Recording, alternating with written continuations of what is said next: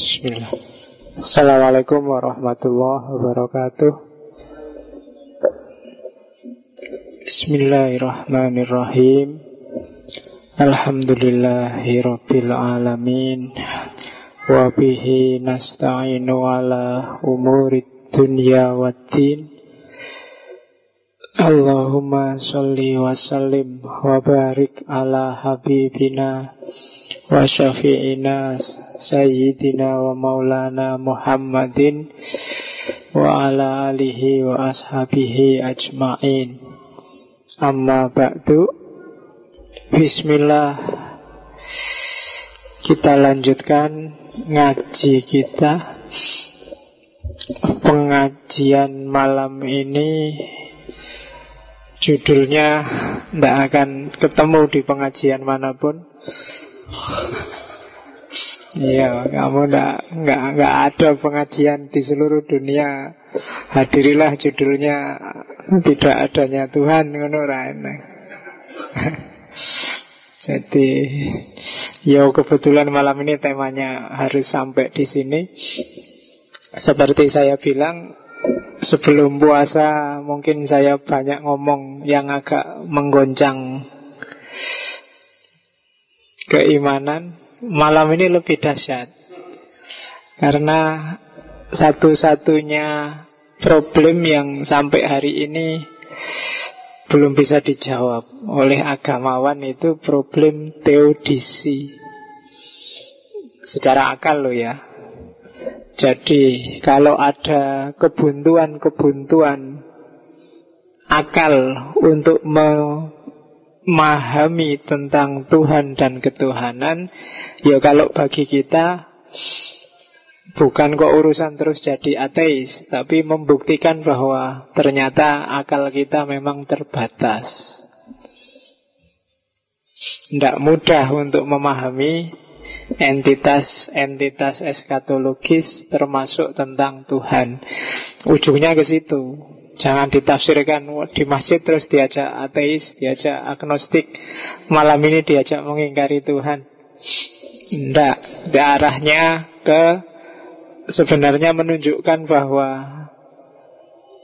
akal kita memang tidak jago untuk memahami dunia ini. Mungkin memang akal kita didesain oleh Allah terutama untuk mengelola alam semesta.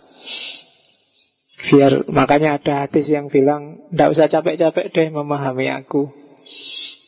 Pahami aja ciptaanku kan ada yang gitu. Itu mungkin sebenarnya satu clue bahwa nanti daripada kamu tiwas kehabisan energi tapi tidak ketemu loh Buktinya memang jungkir balik para filosof sejak dulu juga masih buntu juga hingga hari ini. Sampai terus capek kayak kemarin positivisme logik sampai bilang ah itu meaningless.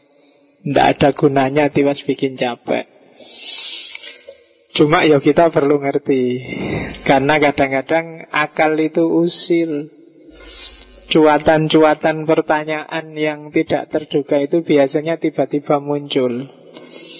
Itu kalau ndak arif menyikapinya Kadang-kadang juga bahaya. Karena Diakui atau tidak Akal itu kan berperan Untuk mengarahkan Jalan hidup kita. Jangan sampai akal itu dimati-matiin atau disingkirin. Eman-eman itu sangat berharga. Kan banyak kan sekarang kelompok yang bilang tidak usah pakai akal. Ya tidak bisa hidup kita kalau nggak pakai akal. Apalagi dalam agama. Oke Bismillah tema kita malam ini adalah teodisi kalau dalam tradisi filsafat agama atau isunya kadang disebut isu problem of evil, problem kejahatan. Meskipun secara harafiah bukan artinya teodisi itu problem kejahatan.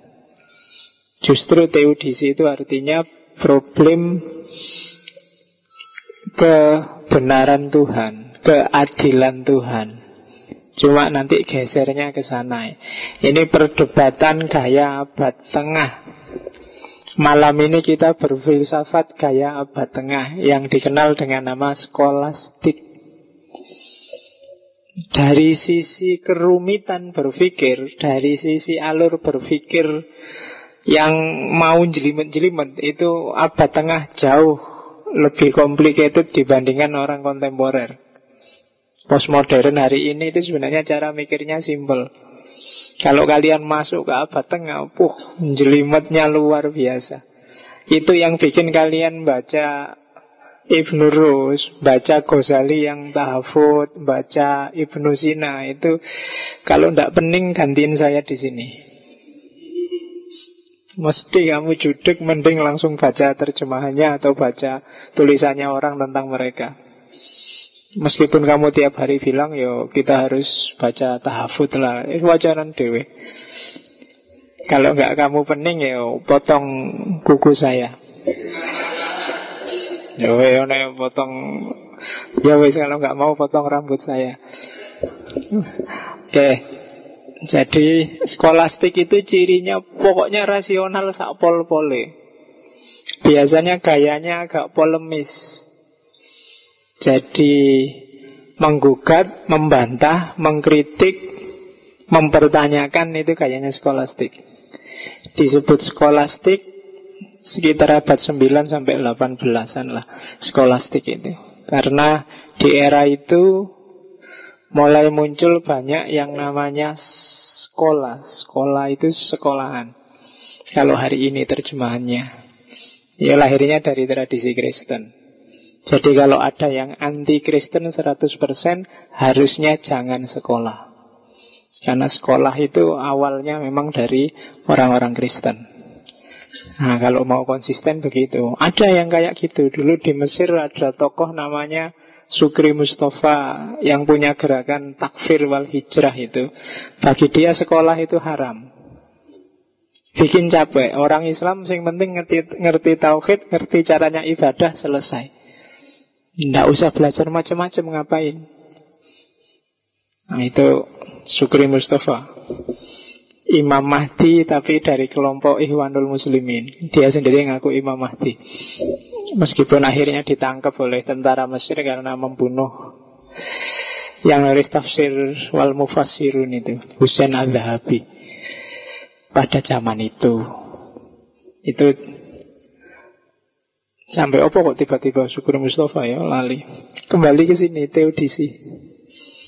Oke, jadi era skolastik Tokoh-tokohnya ya mungkin kalian pernah dengar ada Thomas Aquinas, ada Agustinus, ada Anselmus dan kawan-kawan. Minggu depan kita mungkin juga masih gaya skolastik Kita ngomong Minggu depan saya ingin membuktikan bahwa Semua pembuktian rasional tentang Tuhan Itu cacat logis Tapi minggu depan Apa pun itu Catatan saya ada delapan atau tujuh tipe itu semuanya cacat logis. Ya lagi-lagi bukan menunjukkan bahwa Tuhan itu tidak ada, tapi akal kita memang mungkin terbatas. Ya, itu gunanya sebelum Ramadan biar iya biar kamu nggak main akal-akalan terus ya. Kalau main akal-akalan kamu jadinya males ngaji Terawih itu kan sunnah pak. Ngapain sih capek-capek? Terus mesti ngono Nah, sekarang Tuhannya didekonstruksi biar nggak Tuhan yang itu lagi besok di Ramadan. Biar ganti. Ya, kemarin kan sudah dihabisi oleh orang-orang ateis. Allah itu kan Tuhan yang di kepalamu. Yang kamu sembah tiap hari itu. Ah, biar nggak gitu lagi. Hari ini dihancurkan juga Tuhanmu dengan apa ada memang Tuhan itu. Ini argumen paling mematikan bagi teisme. Kalau dalam tradisi filsafat agama Belum ada yang bisa jawab. Buku-buku filsafat agama biasanya isu teodisi jarang dimasukkan. Atau kalau dimasukkan paling satu subbab kecil 4-5 halaman. Bukunya Fran Magnis misalnya yang menalar Tuhan itu Ya paling sekitar 3-4 halaman di belakang sekali. Karena memang masalah ini nggak selesai. Nggak bisa dijawab termasuk oleh orang yang religius. Oke ya, kita lihat, kita belajar pelan-pelan karena ini permainan logika yang agak panjang. Malam ini harus agak serius, difulkan sisa energinya. Karena slide atas nanti agak nyambung dengan slide bawahnya. Karena ini agak main-main logika. Oke, kita kita awali dari definisi dulu ya. Ya dari kata-kata teos dan dike bahasa Yunani. Kalau teos Tuhan, dike itu sebenarnya keadilan. Jadi itu studi filosofis intinya yang bahas keadilan Tuhan sebenarnya. Yang punya istilah pertama itu Leibniz. Gottfried von Leibniz. Nanti di bukunya yang judulnya juga Teodisi. Isinya buku itu apa? Kalau bahasa ringkasnya pembenaran Tuhan. Pembenaran Tuhan itu berarti akal yang bekerja untuk menunjukkan bahwa Tuhan itu benar. Kalau bahasa kerennya sekarang justifikasi. Kenapa harus dijustifikasi? Karena mulai banyak orang mengkritik keimanan. Sementara orang beragama sendiri juga mulai cerewet. Tanya-tanya tentang keimanannya. Maka butuh justifikasi tentang adanya Tuhan. Jadi secara konotatif teodisi berarti bisa kamu artikan pembenaran Tuhan, pembenaran Allah. Bukan kebenaran ya. Kalau kebenaran pada dirinya sendiri. Kalau pembenaran berarti ada upaya untuk bisa jadi itu tidak benar tapi dicarikan dalil biar jadi benar.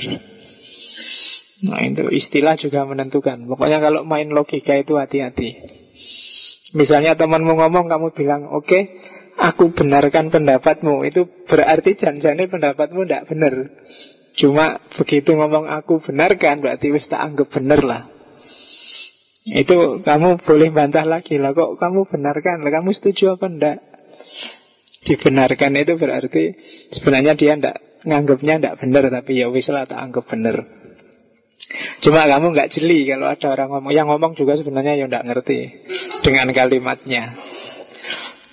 Jadi apalagi orang pusmo hari ini kan sangat care dengan yang namanya bahasa. Setiap unit bahasa itu punya pengertian. Ada sintagmatik, paradigma, itu, itu. Pada saatnya kita akan ada sesi tentang filsafat bahasa.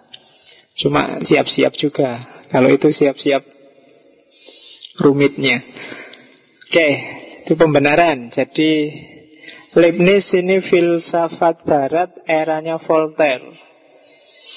Pokoknya senengannya berpolemik debat sama Voltaire. Voltaire ini kan filsafat cengengesan. Sakara PDW. Sementara dia ini filsafat lurus religius Kristen. Tiap hari kerjaannya debat sama si Voltaire ini. Ahli matematika juga Bahkan beberapa teorinya mendahului Newton. Meskipun dibantah oleh Newton, yo, saya juga punya teori itu, cuma bukunya belum tak keluarin aja. Bantahnya Newton gitu. Jadi kalau kamu ada temanmu nulis apa anu, ya kamu bisa bilang, oh itu persis seperti yang tak pikir kemarin, tapi belum tak tulis saja. Ya, oke, kita lihat. Nah, hubungannya apa sih problem kejahatan dengan membenarkan Tuhan? Karena ketika kita ingin membahas Tuhan, ada problem akut, yaitu apa? Problem of evil. Problem kejahatan, problem bencana, problem kekacauan, problem pokoknya yang jelek-jelek di dunia ini. Bagi kita kan Tuhan itu Maha tahu, Maha kuasa, Maha penyayang.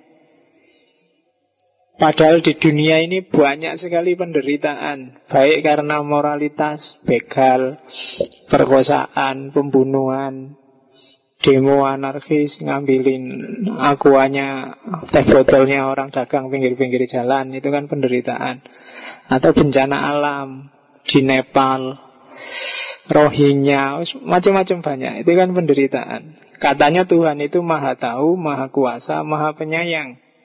Kalau dia maha tahu, pasti tahu kalau kita menderita. Kalau dia maha kuasa Pasti bisa mudah sekali menghentikan Biar penderitaan itu Tidak jadi penderitaan. Kalau dia maha penyayang Pasti dia tidak ingin kita menderita. Tapi buktinya Lah kok ada penderitaan itu?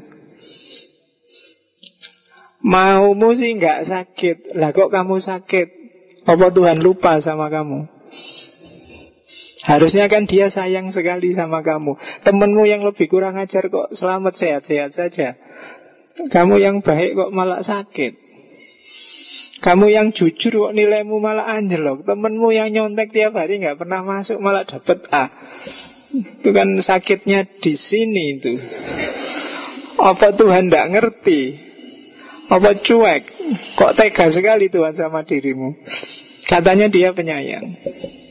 Dan itu kan itu kan kontradiksi sama sifatnya. Apa Tuhan nggak tahu ya? Lu katanya dia maha tahu. Apa Tuhan nggak bisa bikin saya bahagia terus lulus kumlot? Yo terlalu bisa wong dia maha kuasa. Apa Tuhan nggak sayang aku ya? Nggak mungkin dia maha penyayang kok. Tapi buktinya aku kok sakit kayak gini. Itu problem kejahatan, problem teodisi. Apa salahnya orang-orang Nepal itu? Dia orang baik-baik, tidak terlibat perang, hidupnya di puncak gunung. Tidak ikut ISIS, tidak ikut politik neko-neko. Tiba-tiba kena gempa bumi, gunungnya runtuh, mereka tewas semua. Itu kalau mereka boleh protes, salahku apa? Mbok sana daerah-daerah Suriah apa daerah-daerah Irak sana yang dikasih gempa yang dahsyat kok malah sini tidak terduga-duga. Itu problem penderitaan.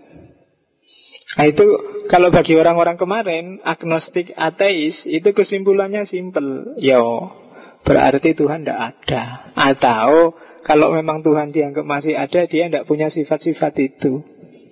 Tapi kalau tidak punya sifat-sifat itu, yo apa yo layak kita sebut Tuhan. Masa Tuhan tidak maha kuasa? Jangan-jangan sama aja kayak kita. Masa Tuhan nggak maha tahu? Masa Tuhan nggak maha penyayang ya berarti dia bukan Tuhan. Itu kan problem logik yang luar biasa.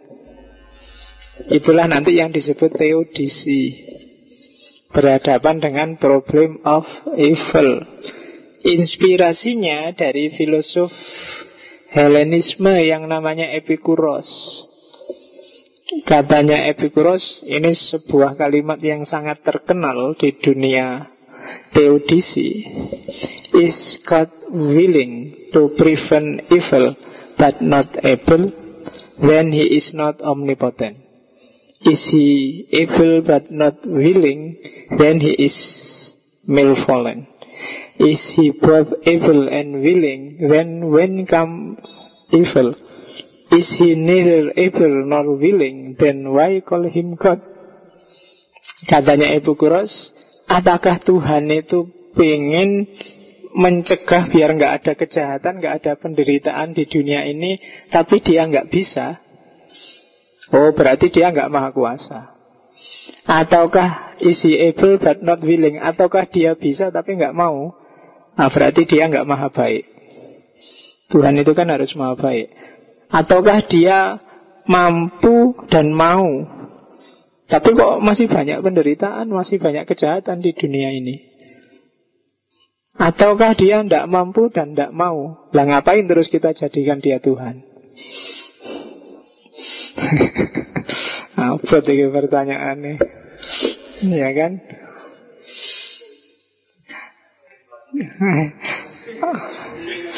Epikuros Jangan salah Epikuros ini salah satu tokoh yang punya madhab etik besar yang banyak diwarisi orang hari ini yang disebut dengan hedonisme.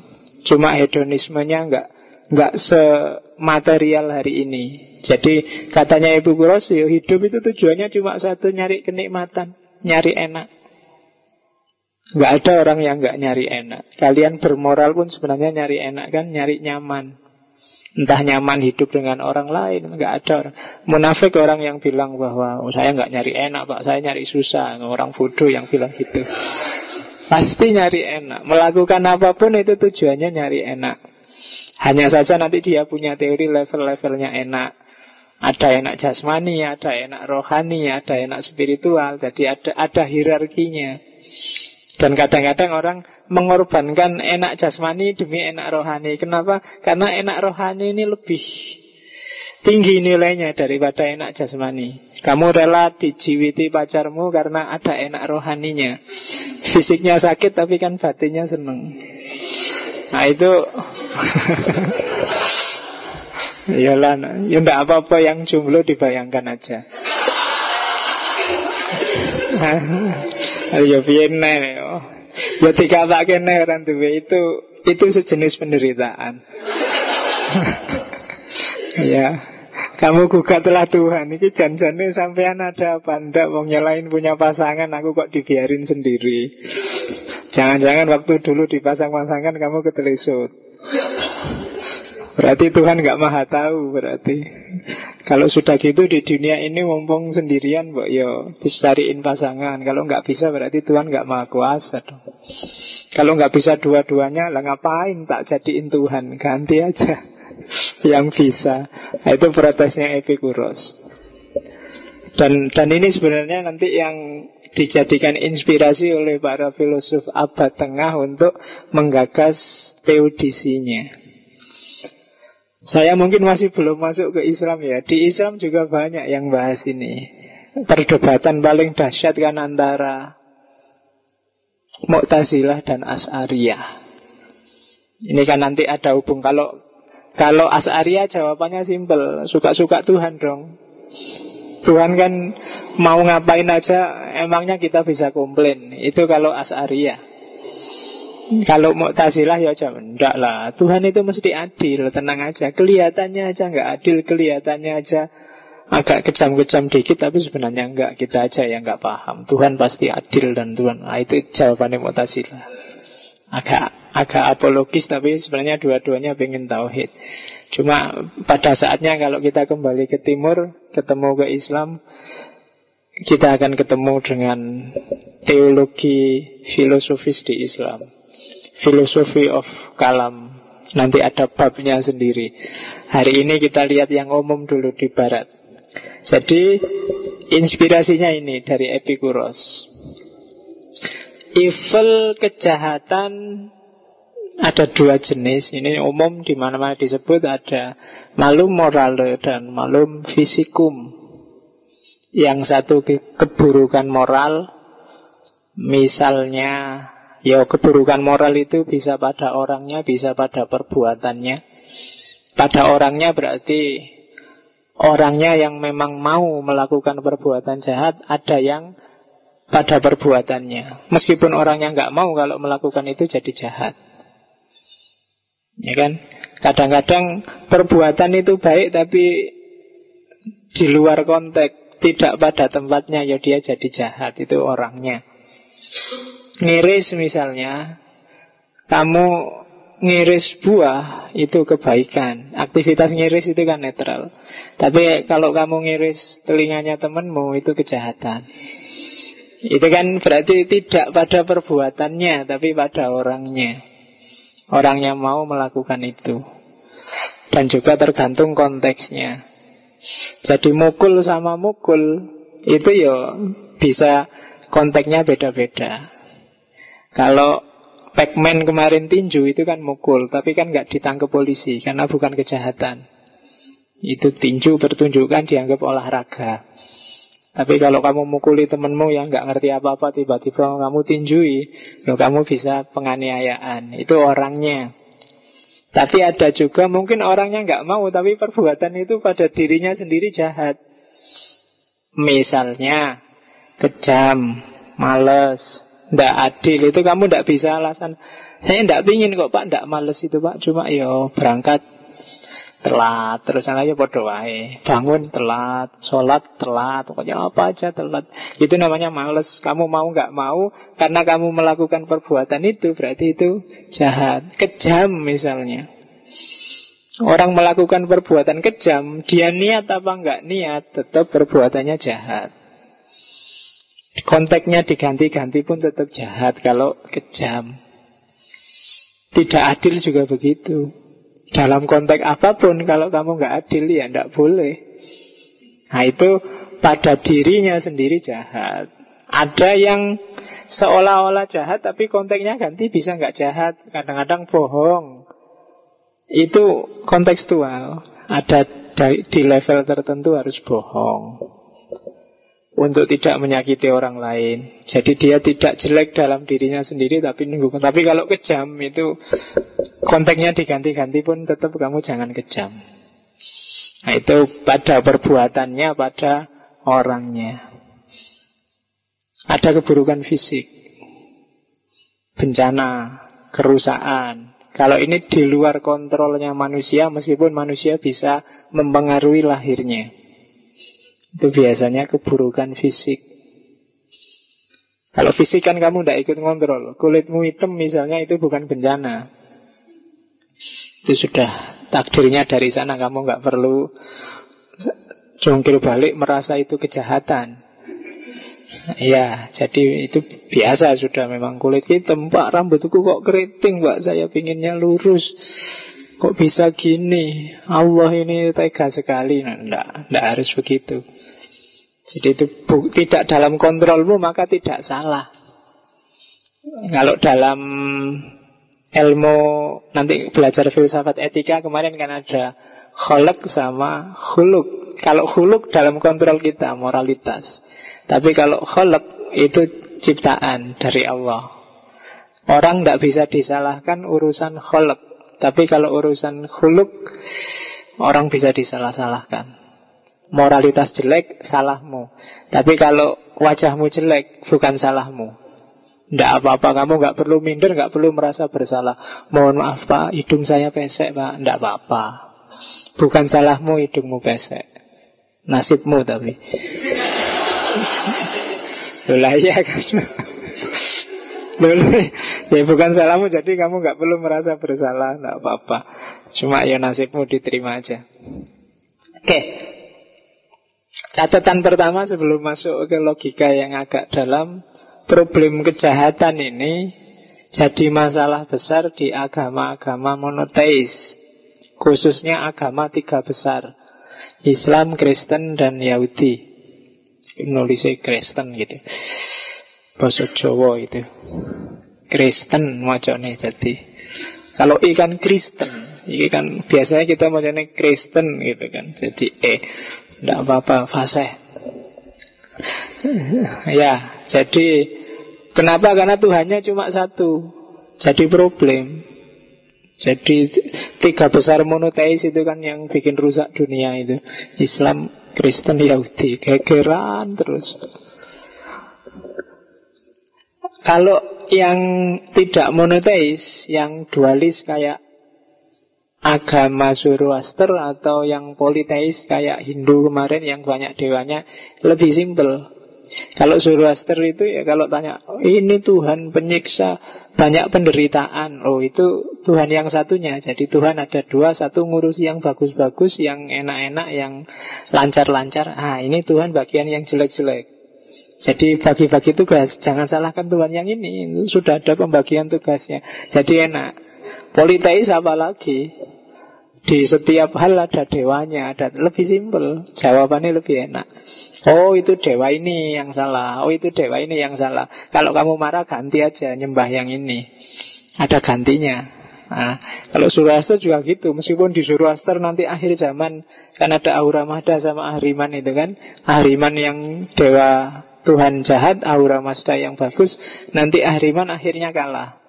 Tapi dua-duanya entitas ketuhanan, kedewaan. Jadi enak. Aduh aku kok sakit-sakitan ya. Ah ini kerjaannya Ahriman. Wah aku hidupku kok bahagia. Wah ini Ahura Mazda sayang padaku. Punya dua enak. Kalau kamu kan susah. Tuhannya cuma satu. Jadi waktu seneng-seneng Alhamdulillah. Waktu sumpek Alhamdulillah Tuhannya sama Ini ngasih aku seneng Ngasih aku susah Kan kamu bingung Nah itu Problemnya monoteis Problem kedua monoteis itu Tuhannya biasanya pencemburu luar biasa. Jadi ya nggak nggak mau dimadu sama sekali. Dosa apa pun boleh kecuali dimadu.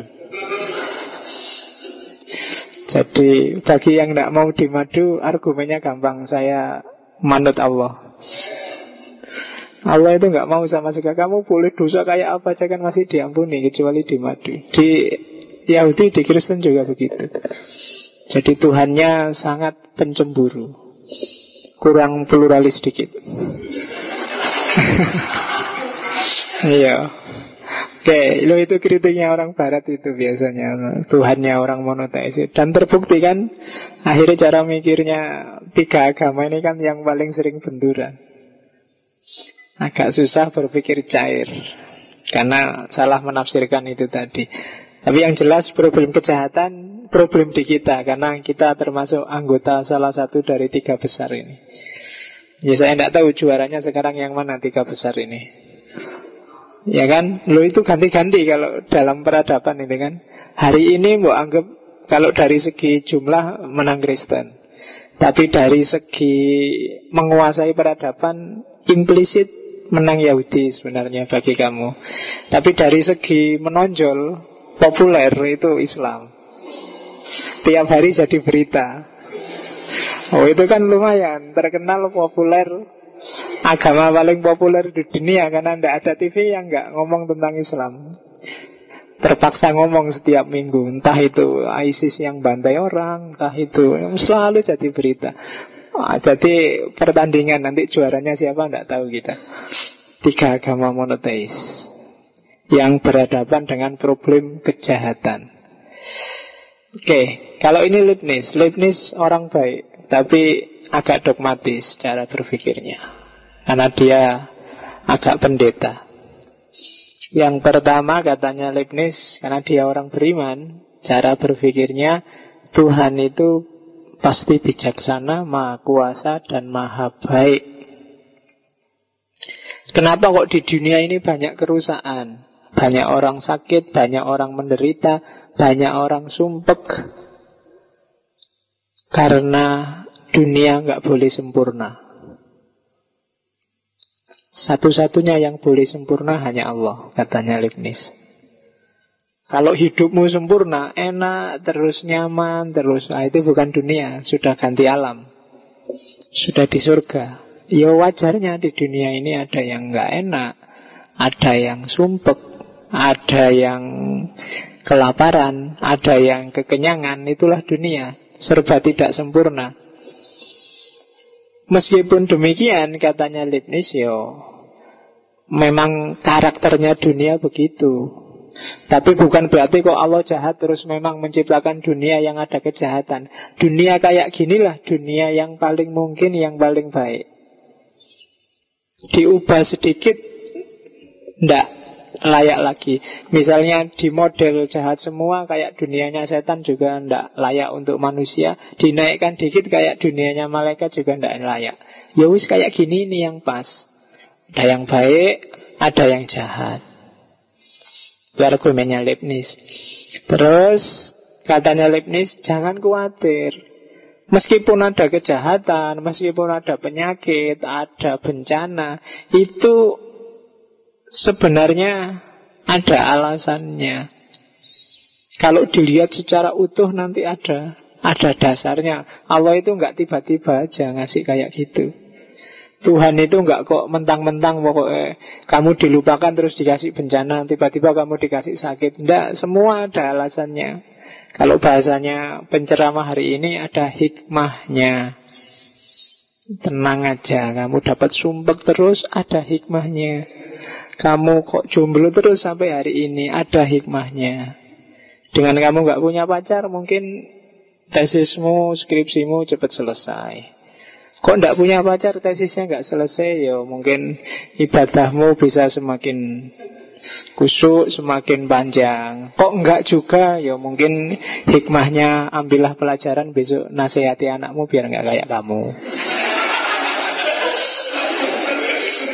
Loh, lah kayak Lu itu kan hikmah juga Lumayan kan kamu dapat pelajaran Besok nasihatnya Le Sesuk ojo kaya bapak. Kan gitu. Lu itu ilmu juga kan itu. Jadi ada orang kayak aku ini ya Dinasihati anaknya kan gitu. Itu juga jenis hikmah. Jadi kayak gitu. Makanya katanya Leibniz, lu kalau kita ngerti alasannya Tuhan dengan ngasih yang jahat-jahat, yang jelek-jelek, oh kita akan ngerti bahwa semuanya ternyata baik, tidak ada kejelekan itu. Sakit itu baik, bencana itu baik.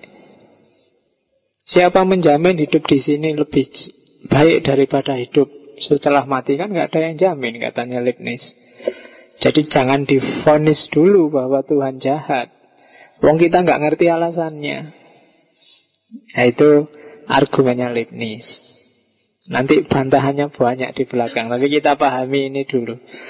Jadi kalau di Leibniz pointersnya ada tiga. Yang pertama dunia ini memang tidak sempurna biar nggak menyaingi Tuhan. Harus ada kurangnya, ada jeleknya. Yang kedua, yang kita anggap kejahatan itu belum pasti kejahatan, pasti ada alasannya. Kalau kita ngerti alasannya, ngerti hikmahnya semua, maka tidak ada barang jelek di dunia ini. Semuanya baik, semuanya bisa diambil hikmahnya. Nanti kita lihat bantahan argumen kayak gini. Tapi yang jelas itu yang ada di bukunya Leibniz yang awal. Leibniz nanti dibantah oleh David Hume.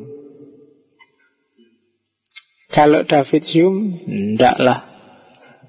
Itu kan model Leibniz itu dogmatis. Keimanan aja bahwa Allah maha baik terus diasumsikan berarti Allah juga pasti punya dasar baik, punya argumen baik. Jadi seolah-olah logis tapi sebenarnya akhirnya tidak logis, itu dogmatis. Jawabannya kurang logis. Katanya David Hume, ya memang kontras antara problem kejahatan dengan sifat-sifat Tuhan yang maha penyayang, maha kuasa, maha tahu. Alternatifnya, kita buang sifat-sifat Tuhan itu atau kita nggak mengakui Tuhan. Itu aja. Tapi akhirnya sama. Kalau kita buang sifat-sifat itu, berarti tidak layak dia jadi Tuhan. Ujungnya sama, berarti Tuhan itu tidak ada. Itu David Hume. David Hume ini terkenal nanti dengan teologi natural. Dia merumuskan konsep-konsep teologi yang berdasarkan akal murni. Jadi Tuhan, Tuhan yang seharusnya menurut akal itu sifatnya harus ini, ini, ini, ini. Terus pokoknya gitu, namanya teologi natural.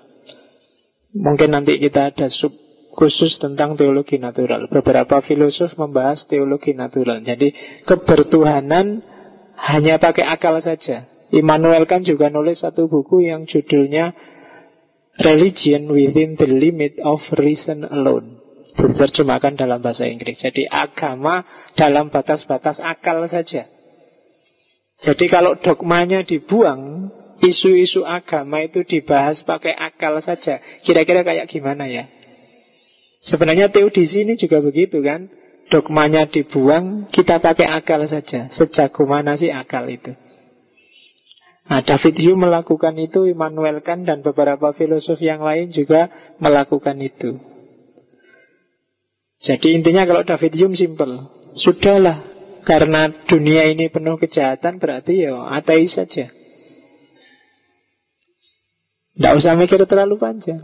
Nanti cuma dibulut-bulutkan hasilnya ya tetap nanti mengarah ke ateis, katanya David Hume. Karena memang kejahatan Tuhan dengan eh kejahatan di alam semesta ini dengan keberadaannya Tuhan itu kontradiksi. Oke, itu David Hume. Ada lagi Thomas Aquinas. Kalau Thomas Aquinas ini pendeta.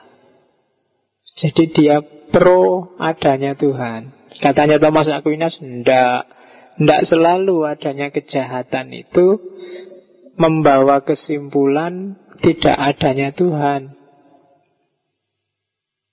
Alasannya Thomas Aquinas apa? Yang pertama, konsep kebaikan Tuhan. Kalau jadi kita akan meyakini Tuhan maha baik. kebaikan Tuhan itu kayak gimana sih? Kuncinya di situ katanya Thomas Aquinas. Kita memahami kebaikan itu kan versi manusia. Versi Allah mungkin beda. Kita melihatnya kan pakai kacamata kita. Bahkan versi hewan itu mungkin bagi kita tidak baik, tapi bagi hewan itu baik. Kemarin saya lihat TV itu ada binatang-binatang yang kalau habis kawin, cowoknya langsung dibunuh. Misalnya belalang. Belalang itu nyari laki-laki Begitu dia dapat laki-laki Kawin, begitu selesai kawin Cowoknya langsung dibunuh Dan cowoknya sudah siap untuk dibunuh Setelah kawin Loh, itu bagi kita kan, wah kejahatan itu. Tapi versinya belalang ya kayak gitu itu yang natural, yang sunatullah, yang baik. Jadi habis gitu-gitu terus dibunuh. Ya kan? Bagi kita misalnya binatang bebek misalnya ganti-ganti pasangan sak kapoke kan jelek. Apa itu? Tidak setia pada pasangannya misalnya. Kamu marah-marah sama bebek. Lo itu kan pakai logikamu. Sesuai dengan logikanya bebek. Itu sah dia gonta-ganti pasangan. Jadi kalau ada orang marah-marah sama seks bebas, nah, jawaban simpelnya lu itu pakai logika manusia. Kalau pakai logika bebek ndak apa-apa. ya kan? Ini versi bebek lo ini. Ah, katanya Thomas Aquinas itu yang terjadi dengan teodisi. Kita memahaminya versi manusia. Kebaikan versi Tuhan tidak harus sama dengan kebaikan versi manusia. Jadi bagus, baik, indah versi kita itu mungkin tidak selalu sejalan dengan bagus, baik, indah versinya Tuhan. Misalnya Tuhan bikin puasalah mulai pagi sampai maghrib itu mungkin kita tidak logis Tuhan itu. Kalau memang sayang sama kita, harusnya puasanya itu mulai maghrib sampai pagi. Itu kan lebih kusuk kita puasanya Tidak mikir macem-macem Tidak aneh-aneh Tidak lihat TV sambil nunggu buka puasa Enggak mikir enggak mana Tapi puasanya lebih lancar Nah itu kan versi kita Tuhan kan punya versi sendiri Punya kebaikan sendiri yang dituju Jangan nyuruh kita Puasa dari pagi sampai maghrib. Sholat juga begitu kan? Sholat lima waktu subuh. Subuh itu pak pagi-pagi Kalau sambil ngantuk itu tidak kusuk pak. Makanya saya selalu tak lebih dikit. Lo itulah baik versimu. Allah punya versi sendiri Subuhnya jam 7 Loh, Ini yang lebih rasional pak. Lelak karepmu itu katanya Thomas Aquinas. Nah ya. Jadi kalau argumennya Thomas Aquinas Tidak, Tuhan tetap baik. Cuma beda perspektif saja. Yang argumen-argumen simple Ada dua teori besar dalam teodisi. Yang pertama Agustinus. Yang kedua Iranius Dua-duanya tokoh skolastik Tokoh besar dalam agama Kristen yang awalnya filosof. Agustinus ini banyak terpengaruh Manikeanisme Iran, nanti pikiran-pikirannya juga Neoplatonisme. Neoplatonisme ini standar pijakan orang-orang Helenis termasuk orang-orang skolastik. Dia menginspirasi hampir semua pemikiran abad tengah termasuk di Islam. Neoplatonisme. Nah, teodisinya Agustinus dan Iranius. Kita lihat dulu teodisinya Agustinus. Asal-usul kejahatan, itu teori pertama. Katanya Agustinus, Tuhan itu sempurna. Dan Tuhan membuat dunia ini juga sempurna. Kalau Tuhan sempurna, dunia ini sempurna, lah kok ada kejahatan, ada kekacauan, ada penyakit, ada bencana, itu penyimpangan, deviasi, itu apa? Penyelewengan. sudah tidak asli lagi. Sudah dikacaukan sendiri oleh manusia. Jadi alam ini sudah sempurna, manusia juga sempurna. Cuma manusia dikasih kebebasan dan alam ini terus jadi rusak. Ada penyimpangan-penyimpangan. Dan penyimpangan itu pasti tidak diciptakan oleh Allah Kerusakan itu pasti tidak diciptakan oleh Allah Tapi dunia yang sempurna dikacaukan oleh manusia Lah kalau tsunami Lah kalau gempa bumi sama. Itu tingkah polahnya manusia Yang mengacaukan keseimbangan alam. Karena itu bukan salah Tuhan.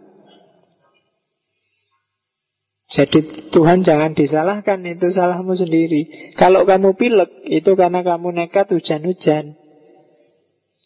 Kalau kamu jomblo Itu karena salahmu sendiri nggak proaktif Jangan salahkan Tuhan oh, Kamu dideketi juga malu-malu nggak berani ngomong langsung Yang disalahkan kok Tuhan Itu salahmu dewe Jadi kamu yang bikin kacau sudah diciptain jodoh, jodohnya datang malah lari.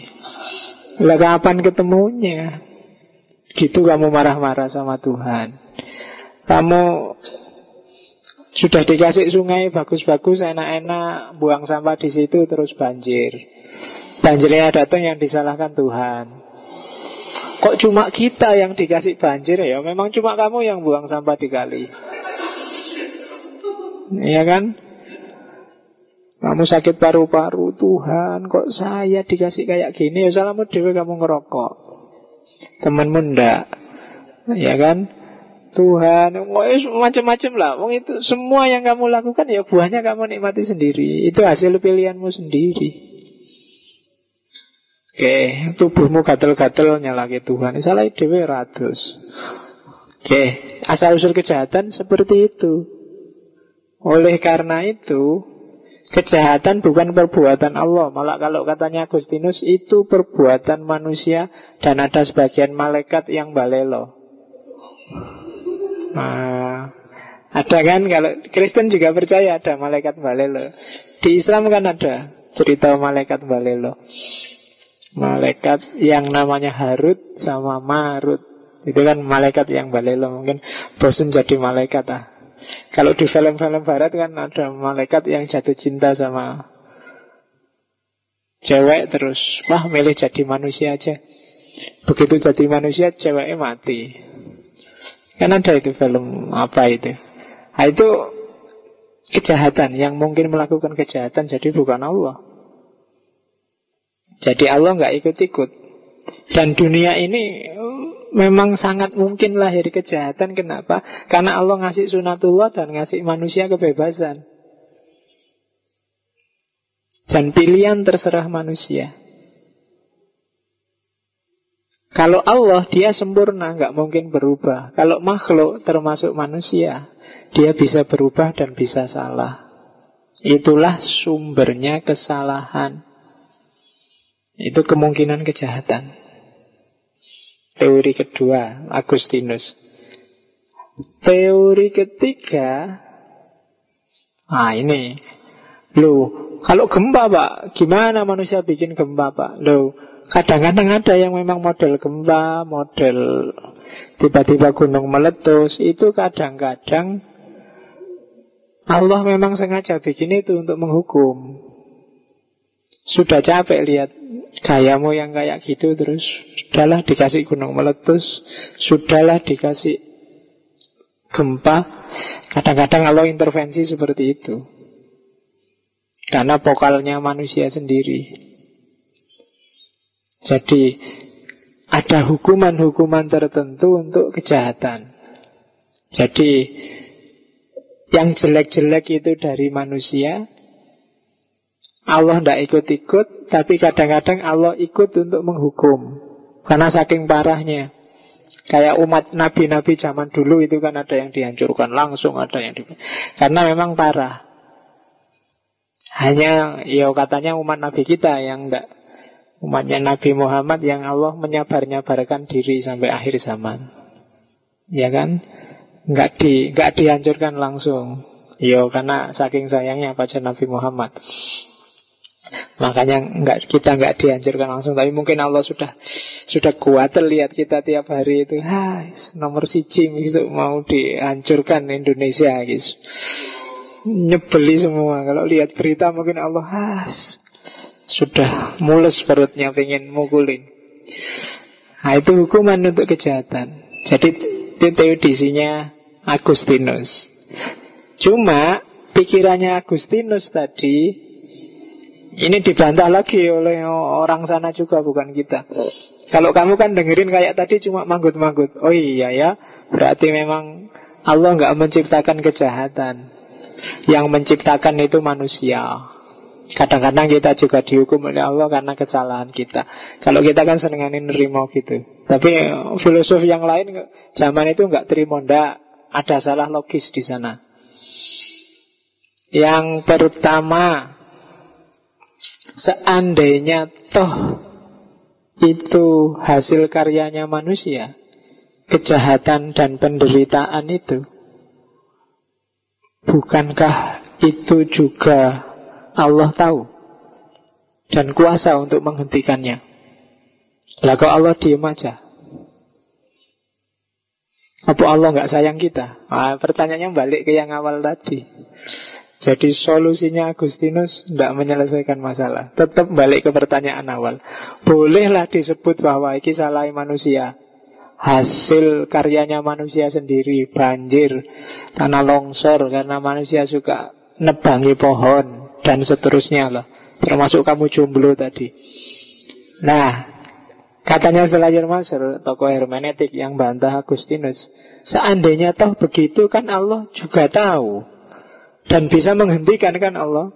Apa susahnya sih Allah ngasih Misalnya kamu males pendekatan Tapi sama Allah dikasih juga kan Allah maha kuasa Tapi kok Allah nggak ngasih Apa Allah nggak terlalu sayang sama kita Kan Allah maha penyayang atau Allah nggak punya sifat itu? Balik lagi kan persoalannya ke awal. Jadi sudah dikasih solusi bagus-bagus Dimentahkan lagi. Nah itu logika namanya. Itu yang disebut keterbatasan akal. Yang kedua juga begitu. Katanya siapa sih baik buruk itu selalu pilihan? Kadang-kadang juga Orang yang tidak ngerti baik buruk Melakukan keburukan. Orang tidak ngerti apa-apa Orang bodoh tidak bisa membedakan mana baik, mana buruk. Ketika melakukan sesuatu Ternyata dia milih yang buruk. Itu berarti apa? Di kepalanya sudah ada informasi tentang keburukan. Lah yang ngasih siapa? Wong dia bodoh. Siapa lagi kalau bukan dia Loh ya kan loh, inspirasi-inspirasi jahat itu loh. Kamu kan selama ini ngertinya sumber pengetahuan dari Allah langsung ilmu laduni. Yo pas kebetulan bagus-bagus.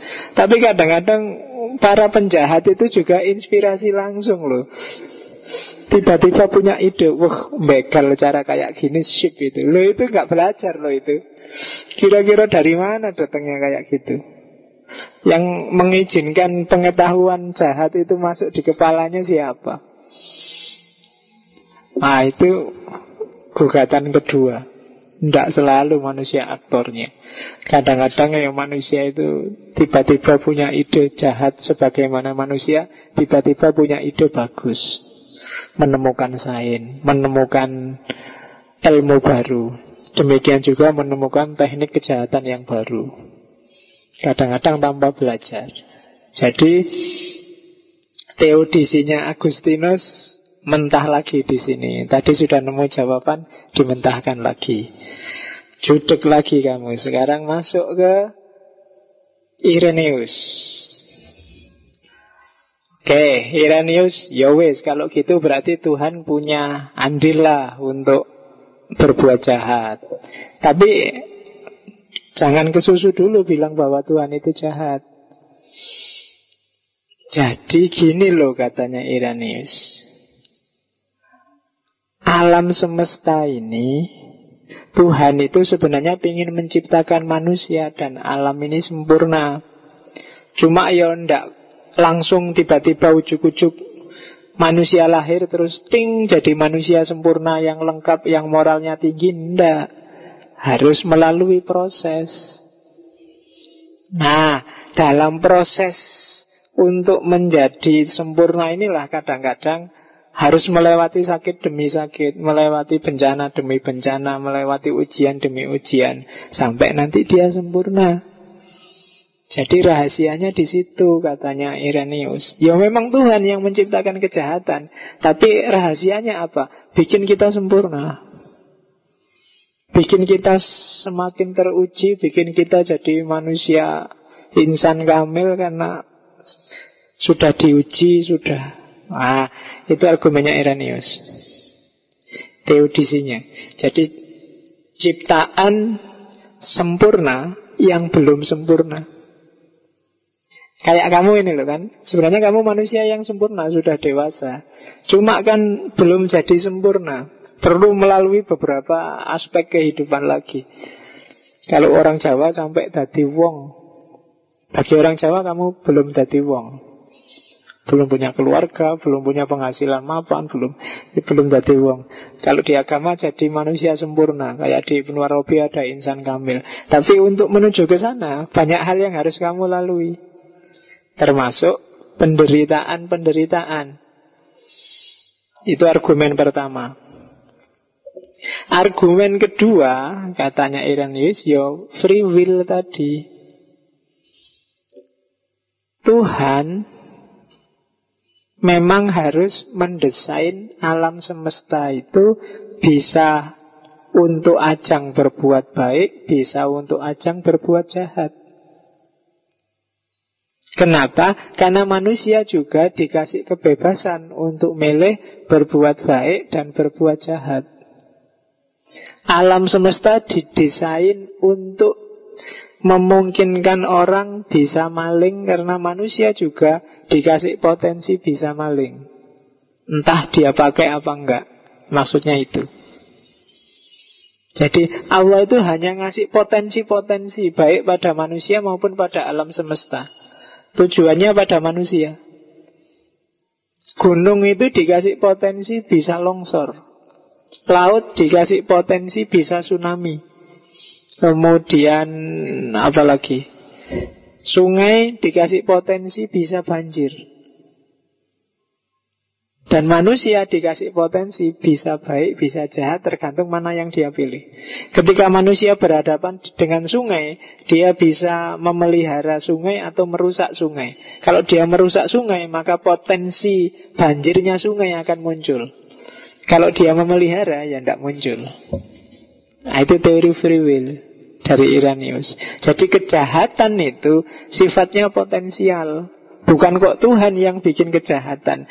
Manusialah yang mengaktualkan kejahatan itu dari cuma potensi terus jadi beneran. Kayak kamu dikasih punya potensi bisa sakit flu. Karena manusia punya bakat untuk flu. Tapi yang mengaktualkan kamu flu beneran ya dirimu. Gaya hidupmu, cara makanmu. Nah itu argumen free will. Jadi kuncinya ada pada manusia. Nah sekarang ayo dibantah lagi. Jadi jawaban api-api itu dibantah lagi kalau sama filosof. Terus kalau pakai jawaban itu, Iranius katanya beberapa filosof setelah dia, yang pertama, perilaku moral itu jadi nggak ada gunanya. Kalau kamu, kalau manusia bisa pakai alasan proses, Pak, proses, Pak. Saya sekarang masih nyontek, tapi besok kalau sudah Sempurna ilmuku Aku tidak butuh nyontek deh pak. Oh iya memang Allah menciptakan kita tidak sempurna. Nah kamu bisa kan alasan kayak gitu? Kayak kamu salah terus dari Pak. Manusia itu kan tempatnya salah dan dosa Pak. Jadi tidak apa-apa. Pada akhirnya kita bisa bertobat. Perilaku moral jadi nggak ada gunanya.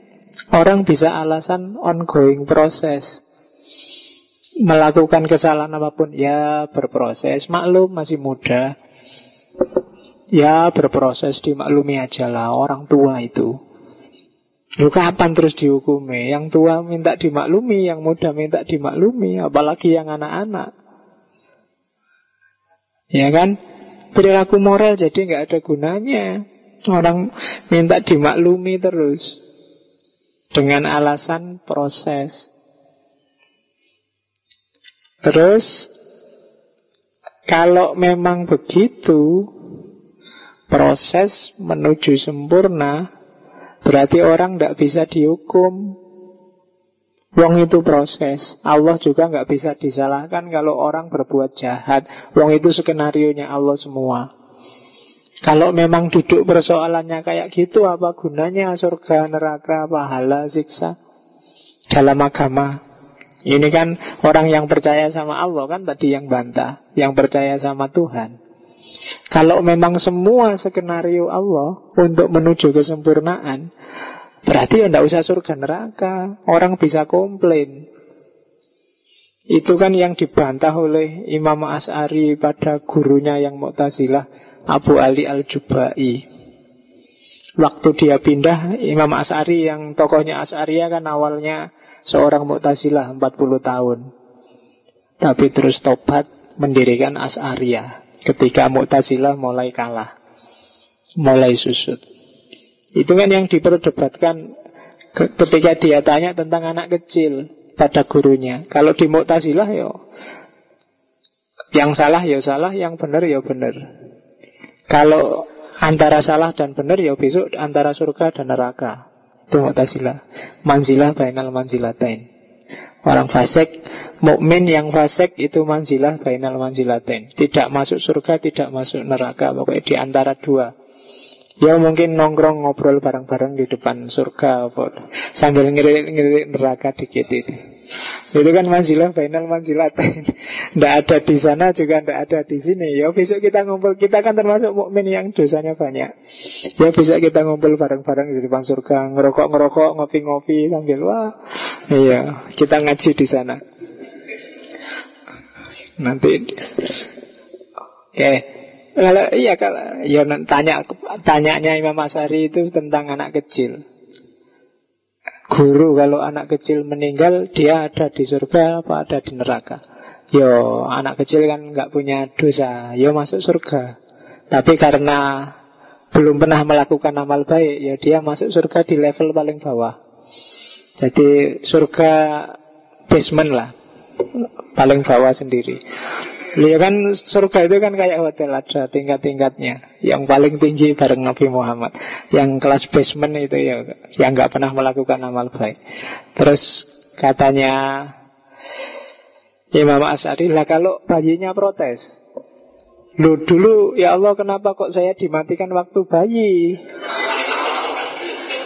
Saya kan nggak sempat melakukan amal baik. Sekarang saya ditaruh di bawah. Itu kan skenario sendiri. Saya sekarang tersiksa.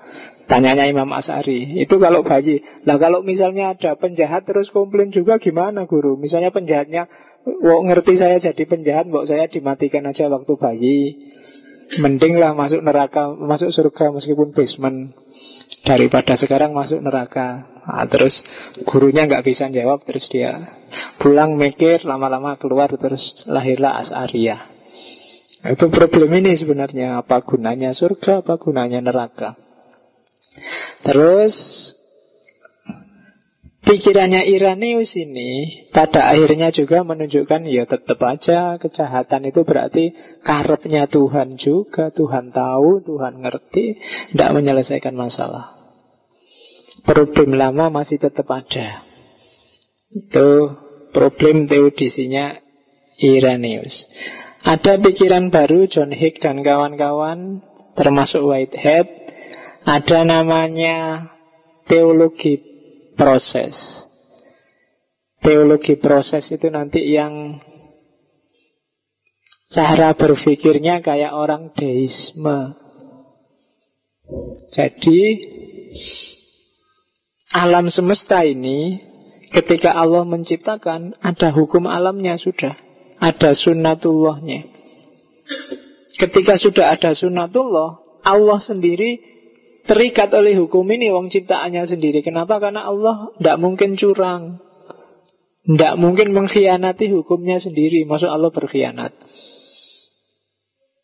Jadi Ada hukum alam misalnya Manusia itu kalau neguk lengannya ke belakang, ke depan, beda sama ayam, beda sama itu kan sunatullah. Kemudian kalau nggak makan tiga hari terus mati itu sunatullah. Dan Allah nggak akan mengkhianati itu. Kalau ada orang tidak makan sampai seminggu terus Allah wah jangan sampai ini saya sayang sama orang ini meskipun nggak makan 40 hari dia harus tetap hidup itu tidak tidak akan oleh Allah. Tetap kalau sudah tiga hari waktunya mati ya mati itu sunatullah. Dihukum mati misalnya dipancung apa ditembak kayak narkoba kemarin ditembak misalnya. Itu misalnya Allah secara sunatullah ditembak kayak gitu mati. Dan katanya John Hick dan kawan-kawan di teologi proses. Tidak mungkin Allah tiba-tiba insuversi sudah ditembak bolak-balik itu masih hidup. Kamu bilang kalau ada mukjizat pak? Tidak, tidak mungkin. Kalau ada mukjizat kayak gitu Berarti Allah mengkhianati sunatullahnya sendiri Berarti Tuhan tidak konsisten dong sama hukumnya sendiri Katanya orang-orang itu. Nah, yang membatasi Allah itu ini Kejahatan itu muncul Karena sunatullahnya dikacaukan sendiri oleh manusia. Allah itu sebenarnya ingin yang baik Petunjuk yang dia berikan Modal kita untuk hidup itu Dikasih akal sehat Dikasih hati nurani selalu baik. Cuma Pilihan kita Itu yang yang mengacaukan segalanya Dan Allah tidak akan mengkhianat. Kalau Allah kayak tadi loh. Apa Allah nggak tahu ya saya menderita? Kalau katanya teologi proses. Loh Allah tahu. Tapi dia tidak akan mengkhianati hukumnya sendiri. Apa Allah nggak bisa tiba-tiba ngasih aku jodoh meskipun aku diem aja nggak nyari-nyari? Bisa. Tapi Allah nggak akan mengkhianati sunatullahnya sendiri kalau kamu diem aja ya nggak dapat. Itu sunat. Apa Allah nggak bisa? Aku nggak belajar, nggak usah kuliah, nggak usah ngapa-ngapain, tiba-tiba dapat ijazah. Bisa. Tapi Allah nggak mau mengkhianati sunatullahnya sendiri. Ya meskipun sekarang bisa beli ijazah. Itu itu juga termasuk mengkhianati sunatullah. Bikin dunia kacau. Jadi kenapa ada kejahatan? Rumusnya itu ketertiban alam, kompleksitas alam, ada kejahatan, ada rasa sakit, itu semua sunatullah. Atau chaos, chaos ini kacau. Kalau Allah mengkhianati sunatullahnya sendiri, yang terjadi kacau, chaos. Tapi enggak, Allah milih tetap ada kejahatan, tetap ada penderitaan daripada chaos. Chaos itu kalau orang bingung lagi, tidak percaya sama sunatullah, lebih rusak lagi. Kamu tetap harus yakin kalau loncat dari atas ambaruk mau pelasa ke bawah itu kamu tewas. Itu sunatullah sudah. Kalau nggak percaya cobaan. Iya kan? Kamu yakin kan? Itu sunatullah. Tapi kalau Allah intervensi terus, ada orang loncat masih hidup, loncat masih hidup. Lama-lama orang nggak percaya sunatullah, yang terjadi chaos. Nanti kamu diam-diam loncat ah, nggak mesti mati. Ah ya loncat ah mesti gitu. Ya kan? Bisa, bisa rusak tatanan dunia kalau orang tidak percaya sunatullah. Itu yang disebut chaos. Jadi apa Allah nggak tahu, apa Allah nggak sayang tahu, Allah itu sayang. Tapi ya dalam rangka biar sunatullah tetap jalan dan Allah nggak mengkhianati prinsipnya, maka Allah nggak intervensi. Pandangan ini pandangan agak kontemporer, meskipun nanti implikasinya kalau kamu punya persepsi kayak gini, kamu punya ideologi namanya deisme. Deisme itu Allah yang tidak intervensi lagi sama kehidupan. Allah yang setelah menciptakan nggak peduli lagi sama realitas sehari-hari pokoknya sudah tak kasih hukum selesai. Deisme itu dalam praktek ideologisnya nanti cenderung orangnya jadi sekuler. Urusan agama ya agama, urusan dunia ya dunia. Itu antara lain kelemahannya teodisi. Tuhan seolah-olah nggak ada. Apa gunanya punya Tuhan kalau semuanya sudah ada sunatullahnya? Berarti ngapain kita berdoa, ngapain kita minta ke Tuhan, ngapain? Berarti Tuhan setelah menciptakan dia pergi dan selesai. Itu kelemahannya argumen ini. Argumen teologi proses. Ada lagi yang selanjutnya argumen main catur. Jadi bayangkan kejahatan melawan Tuhan itu kayak permainan catur. Yo, berarti catur antara Tuhan dan kejahatan. Evil, anggap aja setan lah yang kejahatan itu.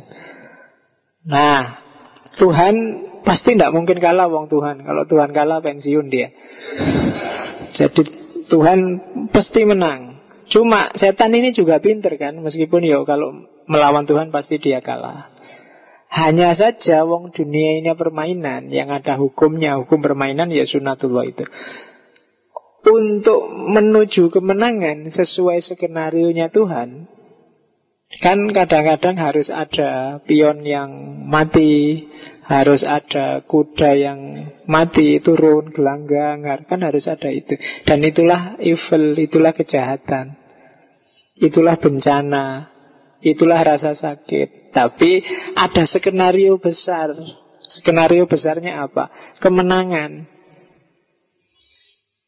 Ya kan? Kalau kamu ingin main catur kan kadang-kadang harus mancing, wis Bentengnya biar dimakan dulu nanti ratunya tak makan. Itu kan korban benteng. Ini yang kejahatan itu yang korban benteng ini.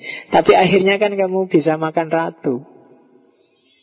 Nah, kejahatan itu gambarannya seperti itu. Jadi jangan dilihat ratunya yang eh jangan dilihat bentengnya yang mati, tapi lihatlah kita yang bisa makan ratu. Jadi skenario besar.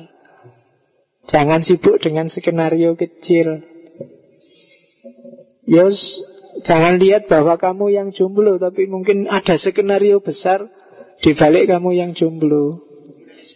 Ya kan, jangan dilihat sakitmu. Misalnya kemarin saya sakit seminggu itu. Jangan sibuk cuma lihat saya sakit. Jangan-jangan dengan saya sakit itu kamu bisa istirahat. Saya juga bisa istirahat. Pikirannya jadi lebih seger. Ya, masuk ngaji lagi lebih nyaman lagi kan ada skenario besar mungkin lebih besar lagi dari itu dan kita nggak sadar nah itulah analogi catur jadi jangan ditangisi satu dua peristiwa yang jelek kadang-kadang kayak tadi hikmahnya besar ada rahasia yang lebih besar meskipun di teori itu ada kelanjutannya yo kalau sudah kayak gitu kita milih mana sekarang? Diam aja lihat Tuhan tarung sama kejahatan. Kita nonton aja Sampai nanti menang Yang menang siapa Atau bantu setan Atau bantu Tuhan. Alternatif hidup itu kan itu. Kalau bantu Tuhan ya berarti kita beragama Percaya sama Allah. Kalau bantu setan ya berarti kita ikut andil dalam kejahatan. Kalau diam aja ya kita jadi penonton. Ngaji aja. Tidak ikut-ikutan. Ya, oke, itu analogi catur. Oke, sekarang kita lihat. Ini tipe jawaban yang sering diper, dipakai orang untuk jawab kalau ada kasus bencana, kalau ada kasus penderitaan, kalau ada kasus kesulitan secara umum. Itu tak sebenarnya teodisi itu banyak dari para filosof cuma kalau tak sampaikan semua kamu judek. Tak ringkes saja jadi jadi beberapa. Yang pertama hukuman pada orang-orang yang berdosa. Makanya kadang-kadang kalau dapat susah itu kan kamu meratapnya Gusti Allah dosa kula napa. Itu berarti kamu punya pandangan bahwa penderitaan itu karena dosamu. Makanya kalau dapat susah apa pun kamu kan mungkin yang terucap pertama istighfar astagfirullah. Salah apa tadi ya? Itu sebenarnya kamu punya persepsi pertama. Jadi menganggap segalanya dosa. Itu bikin bingung dulu para ulama ketika Baghdad itu jatuh. Itu persis bingungnya kayak gini. Dosa apa ya wong Islam itu? Baghdad itu kan jatuh Kalah sama orang-orang Mongol. Orang Mongol itu nggak cuma kafir nggak punya Tuhan. Zaman itu Genghis Khan dan anak turunnya itu kan nggak nggak peduli sama ada Tuhan apa enggak. Sementara Baghdad zaman itu itu city of God, kotanya Tuhan, isinya para alim ulama, para habaib, masyayikh, orang-orang besar ada di sana semua. Diserbu orang-orang liar, orang desa, orang tidak kenal Tuhan, pokoknya kafir pol itu loh, kalah. Itu kan bingung para kiai, para ulama itu jusopo ya orang Islam itu. Sama orang kafir kayak gini masih barbar bisa kalah. Dibantai habis-habisan banjir darah di Baghdad. Perpustakaan-perpustakaan dibakar. Ini hukuman mesti dari Allah. Yang mikirnya zaman itu gitu. Atau termasuk urusan masjid roboh dan gereja roboh. Ada buku bagus isinya debat antara Voltaire, saya lupa dengan filosof siapa ya, yang isinya menertawakan ini. Jadi kalau dulu di Aceh kan masjid-masjid tidak rubuh. Tapi ada di Portugal itu tsunami dan gempa bumi itu gereja-gereja rubuh semua. Yang tidak rubuh satu-satunya adalah kastil rumahnya gubernur yang korup, yang jahat luar biasa. Hmm, ya, yang paling tinggi lo itu kan diketawain habis-habisan sama Voltaire. Habis orang-orang agamawan kan senengannya gitu. Katanya Voltaire lo kalau kayak gitu harap ngomong ngomong orang agamawan. Jadi bukan gerejanya yang selamat malah rumah koruptor, rumah penjahat, gubernur paling dibenci rakyat itu satu-satunya yang berdiri. Nah, itu kan mungkin kan jawabnya ini hukuman bagi orang berdosa itu. Yang kedua, ini sering kita pakai ujian. Kalau ada orang baik kok hidupnya sumpek, kan kamu menghiburnya. Tenang aja, ini ujian dari Allah. Yang sabar aja, tidak akan diuji kalau orang yang tidak akan naik kelas. Kan mesti gitu kamu. Tenang aja, kalau sudah diuji kelas kita akan naik. Kelas yang mana sudah diuji nggak naik-naik kelasnya. Terus ada juga yang bilang semacam ujian tapi kita akan dimurnikan. Ada penyucian. Jadi penderitaan akan menyucikan kita, memurnikan jiwa kita. Ada yang kayak gitu ceramah. Kita lihat di mana kelemahannya argumen-argumen ini. Ini kan pakai akalmu semua kan yang ini. Yang pertama, kalau itu hukuman. Gimana kalau ada anak kecil tidak ngerti apa-apa terus dapat musibah, kena kanker lah. Diterlantarkan orang tuanya lah. Di banyak kan anak kecil dapat musibah. Lo dia dosa apa? Anak kecil nggak punya dosa lo. Kalau kamu pakai argumen bahwa penderitaan itu adalah hukuman atau orang baik-baik yang menderita terus. Saya itu jujur terus. IP bagus terus, semua dosen seneng, orang tua seneng, teman-teman semua seneng. Kok aku menderita terus ya? Ya kan, uang selalu tipis, pacar ndak punya, Terus hidupku kok merana gini ya Allah Aku perasaan enggak Orang baik dia dapat susah Lalu apanya yang dihukum Ya kan? Makanya godaannya setan pada orang baik itu mbok sekali-sekali kamu berdosa. Iya. Itu kan yang banyak meruntuhkan para ulama yang pinter. Kalau kamu sekali-sekali berdosa, nanti istighfarnya lebih mantap. Iya kan lo kalau kamu nggak punya dosa, astagfirullahaladzim. Yang diistighfari apa? Orang baik nggak punya dosa. Tapi kalau dosamu banyak, Astaghfirullahaladzim. Tadi aku bohong. Astaghfirullahaladzim. Tadi aku curang. Ada istighfarnya. Itu godaannya setan yang pinter itu. Nah Hukuman jadi banyak kelemahannya Kalau hukuman. Atau dapat kebahagiaan nanti di surga. Sekarang di dunia sengsara nggak apa. Katanya Tuhan itu maha baik kok kejam gitu ya? Pengen masuk surga aja bayarnya kok susah sekali. Ya kan? Masa Tuhan harus nyiksa orang dulu baru ah sudah kamu sengsara ya masuk surga. Masa gitu Tuhan? Kamu sudah mati-matian malam nggak tidur siang nggak makan puasa bagus. Saya masuk surga masa gitu? Tega sekali kalau Tuhan kayak gitu kalau Tuhan mencintai kita memang apa harus nyiksa kita dulu sebelum dimasukkan surga ini kan kontradiksi sama maha penyayangnya itu kalau alasannya biar dia masuk surga. Jadi kalau kamu menghibur orang, tenang aja. Ujian, nanti di akhirat bisa masuk surga. Atau untuk menyucikan kita, bikin kita naik kelas, saprek. Itu bantahannya ini loh, bukan dari saya loh. Lu banyak orang yang kena penderitaan terus remuk, putus asa. Ada yang sampai murtad. Mau naik kelas di mana? Putus asa pak, jalannya buntu semua. Enggak naik-naik kelas, tetap enggak duit duit, tetap jomblo, tetap gak lulus lulus kuliah, tetap anu as bisa jadi putus asa. Pokoknya habis-habisan nggak dapat apa-apa. Ya penyucian yang mana lagi pak? Ini sudah tak tunggu-tunggu nggak selesai-selesai. Katanya orang sabar itu nanti mulia. Sampai umur 40 nggak mulia-mulia saya pak. Nunggu kapan lagi? Ada kan yang gitu? Belum. jadi tidak selalu argumen satu dua tiga. Secara rasional loh ini ada bantahannya Susah lagi kamu. Abot Gimana cara jawabnya ya? Terus Tipe kedua. Kayak tadi Ada skenario besar. Jadi yang pertama tadi Jangan dilihat parsial dong Lihat secara utuh. Jangan cuma lihat penderitaanmu Lihat hikmahnya yang besar kayak tadi.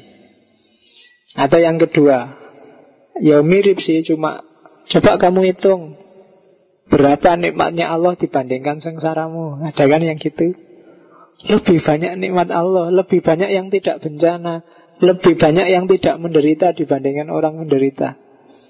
Sering orang ceramah kayak gitu. Sama kayak argumen ketiga. Coba lihat Meskipun ada bencana Secara umum alam semesta ini harmonis Tertib Teratur Ya kan? Terus ada lagi yang terakhir. Ya ini untuk menguji kayak tadi.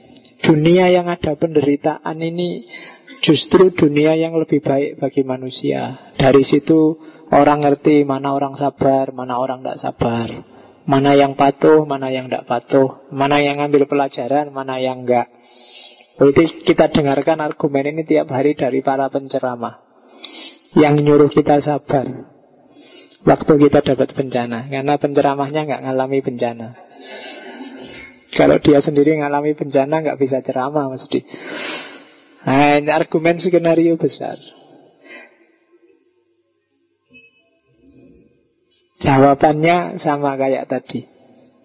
Kalau itu skenario besar apa yo trimo orang yang dapat jatah untuk menderita Berarti harus ada yang jadi korban dulu. Jadi misalnya ini skenario Sudah ya kamu jatahnya jadi yang susah-susah Dia jatahnya jadi yang enak-enak. Lah kok tega Tuhan? Saya kok castingnya bagian yang jelek ya. Bu aku sekali-sekali ya kan?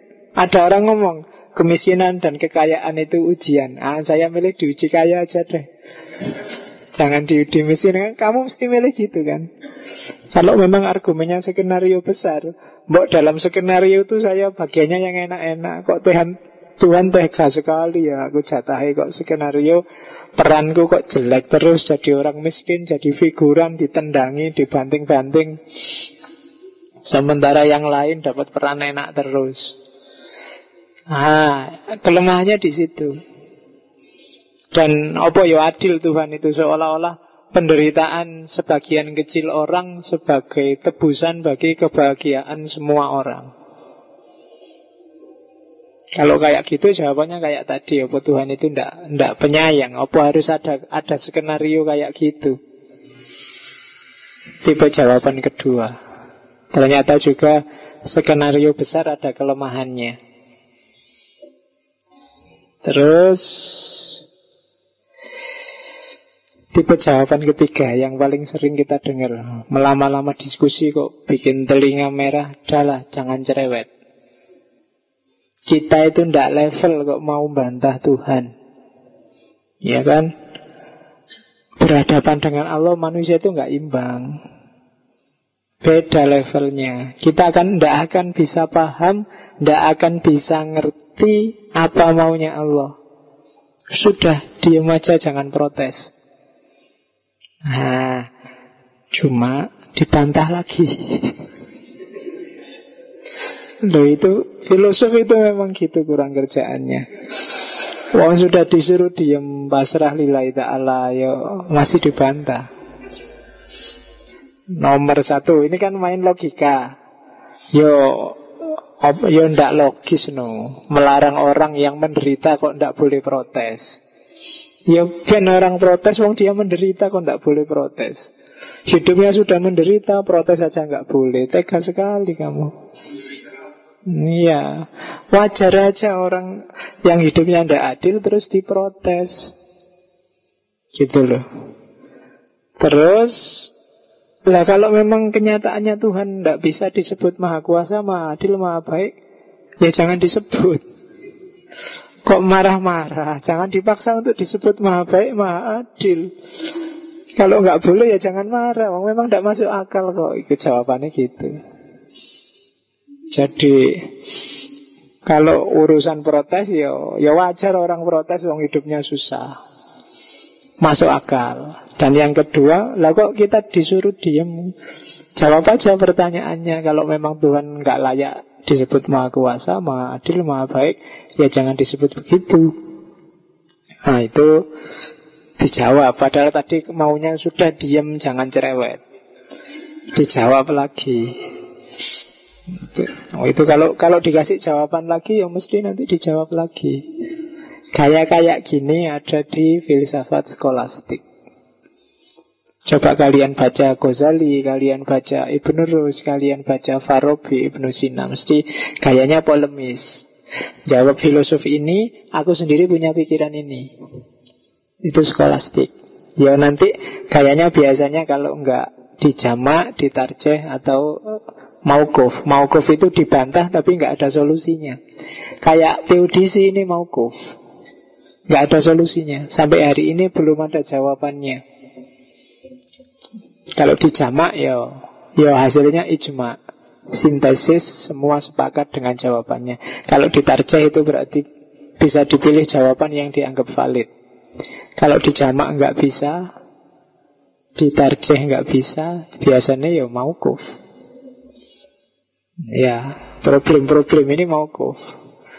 Jadi tidak ada jawabannya sampai hari ini. Itu di antara problem abadinya filsafat itu teodisi untuk orang yang beragama.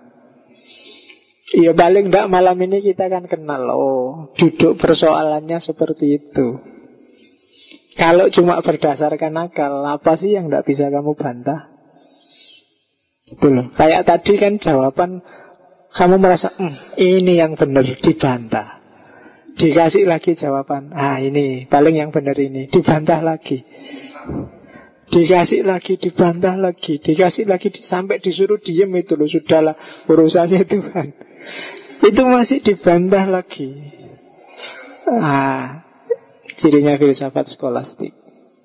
Itu yang sehingga saking putus asanya orang-orang positivisme logik Diskusi metafisik itu memang meaningless Bikin capek nggak ada gunanya Tapi ya kamu harus ngerti Jangan dijadiin alasan Karena kamu nggak ngerti terus bilang Nggak usah lah itu meaningless. Padahal kamu nggak ngerti. Ngerti dulu Iya ngerti dulu baru bilang meaningless. Kamu kan sering gitu Nggak ngerti dulu baru Kebiasaannya orang Indonesia. Tidak ngerti dulu terus tidak suka. Oke Saya kira itu dulu. Jangan panjang-panjang. Sebenarnya masih ada beberapa filosof yang tak potong di sini Selain tipe argumennya sama juga cara menjelaskannya agak jelimet. Makanya tak tak klaster-klaster jadi tiga. Kalau ini jawaban dari rohaniwan, agamawan. Kalau ini sebenarnya sama kayak tadi. Kayak Irenius jawabannya. Ada skenario besar. Kalau yang ini dari agama. Kalau kita kan sering bilang bahwa Bencana itu ada kalanya musibah ujian dari Tuhan, ada kalanya hukuman. Nah, dua-duanya ternyata tidak kalau di sini. Kalau itu dianggap ujian juga banyak orang yang setelah musibah hidupnya sengsara, tidak ada akhirnya. Ujian itu kan harusnya naik kelas, tapi juga tidak jelas kelas apa yang harus dinaiki. Dia harus jadi apa setelah naik kelas Cuma kan itu untuk hibur kita seolah-olah Ya bener kayak gitu Tapi kalau dipikir ya kamu bingung dewe Misalnya Tenang aja kamu dapat E Tidak apa-apa itu ujian. Sebentar lagi kamu naik kelas. Naik kelas apa? Kamu dapat E kok. Malah turun kelas. Cuma kan orang hibur bisa Atau ada kalanya hukuman. Itu kalau hukuman kan kamu tanya Dosaku apa? Lah orang itu dosanya lebih besar kok. Hukumannya cuma segitu. Aku yang dosaku ndak anu Hukumannya besar. Itu kalau alasan hukuman Orang Nepal itu nggak ngerti dosanya apa tiba-tiba kebruan bumi, kebruan gunung. Mereka dosanya apa kok tidak di Indonesia aja? Jangan sampai yo orang tuh nggak loh ini. Misalnya dari sisi curang dan kurang ajar kan Indonesia lebih daripada orang Nepal. Tapi semoga Tuhan masih sayang kita. Kalau ada, kalau katanya teodisi ini. Loh ya kan kesimpulannya teodisi kan ini makanya disebut argumen tidak adanya Tuhan. Ternyata tidak terjawab. Atau kamu coba dirumuskan jawaban sendiri nanti di rumah. Sopo ngerti kamu bisa menjawab ini. Minggu depan kita ngomong argumen adanya Tuhan. Yang semuanya juga kayak gini nanti terbantah secara logis. Termasuk argumenmu apa lihat alam semesta lihatlah membuktikan adanya Tuhan itu di counter semua kalau pakai akal. Itu dasarnya Allah bikin akal kita. Bahkan bantah yang bikin sendiri itu pinter. Oke, saya kira itu saya tidak tahu setelah minggu depan masih bisa apa enggak Ramadan itu tanggal berapa? 18 ya berarti satu atau dua kali lagi terus kita off satu bulan ambil nafas tobat menyucikan diri. Ya terus kembali lagi dengan isu baru tentang ketuhanan. Saya akhiri sekian. Wallahu muwafiq wallahu alam bisawab wal afu minkum. Wassalamualaikum warahmatullahi wabarakatuh